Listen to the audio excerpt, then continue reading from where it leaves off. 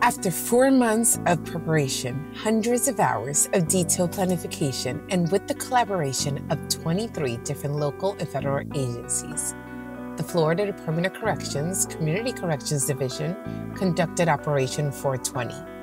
The operation aimed to ensure public safety by conducting random home verifications and planned searches of offenders currently supervised by FDC in Lake, Sumter, Marion, Citrus, and Hernando counties.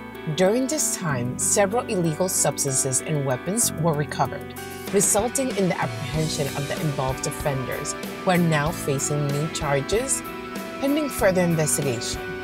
The offenders were transported to the county jails without any incidents. We expressed our gratitude and appreciation to each officer involved in this operation for continuing to uphold a critical public safety mission. We also acknowledge and appreciate the successful management of the joint operation by the community corrections.